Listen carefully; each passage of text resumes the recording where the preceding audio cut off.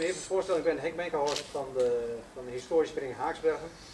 Uh, ik zit in de werkgroep Monumenten en Archeologie. Er zijn nog een paar mensen meer die hier aanwezig zijn. Uh, bestuursleden zijn hier aanwezig.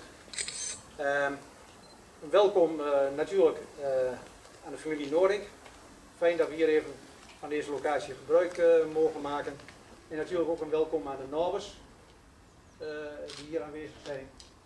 En niet te vergeten de mensen van Arfgoed Buurse zijn hier vertegenwoordigd.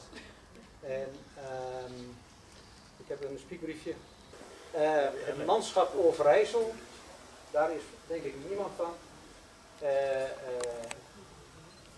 die moeten we ook zeker vermelden, want die hebben ook financieel bijgedragen aan dit project, zoals ook de, de gemeente Haaksbergen wat buurs betreft, geloof ik.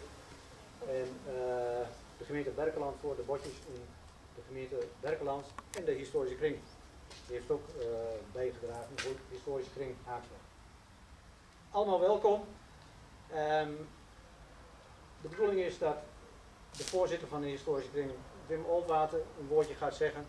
Daarna Jan Put van de Monumentenraad Haaksbergen. En dan stel ik voor dat de dames Waaierdink en Kormelink de officiële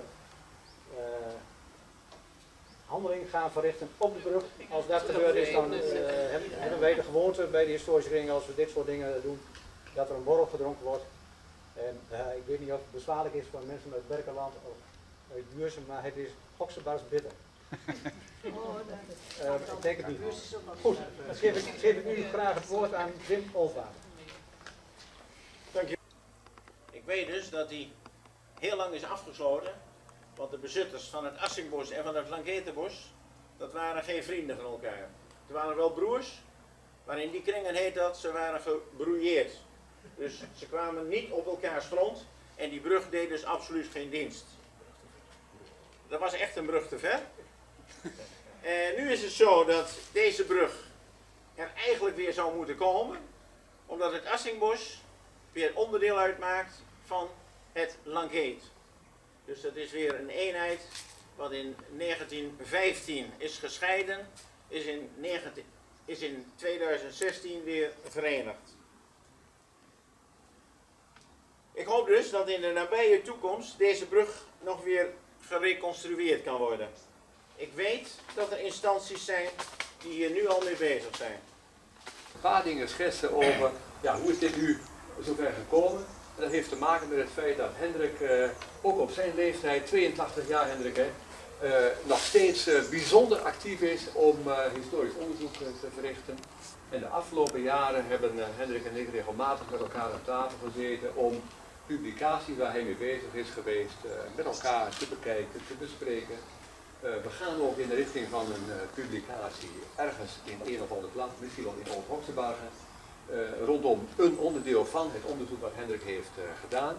Door de bruggen heeft Hendrik werkelijk tot op de vierkante millimeter alles wat maar bekend is eigenlijk bij elkaar gezet. Dat is een document van nou ja, tientallen pagina's wat uh, een goede plek zal kunnen krijgen in het archief van bijvoorbeeld de historische kring.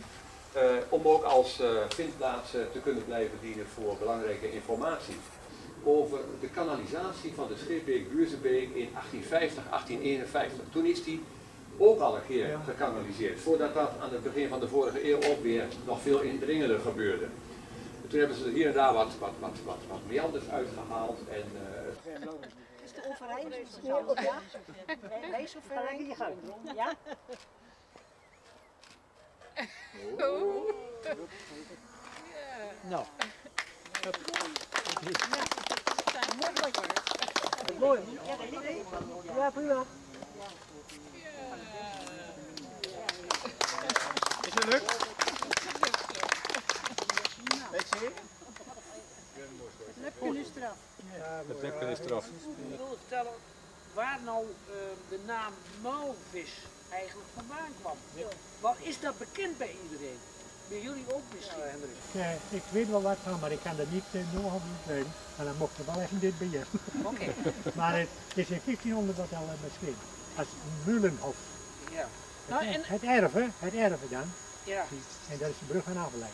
En Mulenhof, dat klinkt Duits. Ja, ja. Mühle is, was een molen. Ja, ja, ja. En het schijnt dat daar ginds verderop een molen heeft gestaan, Heeft een de molen staan. Sassenmolen. Dat is een molen. Ja? Nee, daar. Of Nee, aan nee, die nee, kant. nee, nee, nee, nee, nee. Volgens, Ja, ja, voorbij Vlieraar. Daar. Ja? nou ja, wat ik begrepen heb was tussen, maar het zou ook daartussen kunnen Maakt niet uit. maakt Nee, dat maakt in principe ook niet zoveel uit, maar dat was dus een oude molen. Ja, ja, ja.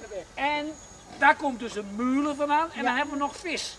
Ja, Nou, is het volgens, eh, en dat zeg ik, nou, eh, Henk Koning heeft het beschreven in het blad dat hij altijd, of eh, ja, zeg maar de kolommen die hij altijd schreef voor ons, ja. eh, heeft hij beschreven dat daar een vrouw woonde die niet al te aardig was. Tegenwoordig zouden ze zeggen een vislief. En daar zou het vandaan komen.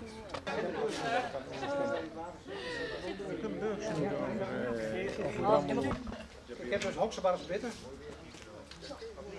En die, ik zal er een aantal inschrijven.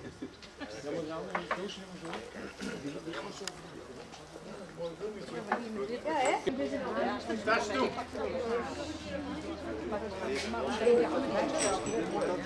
Ja,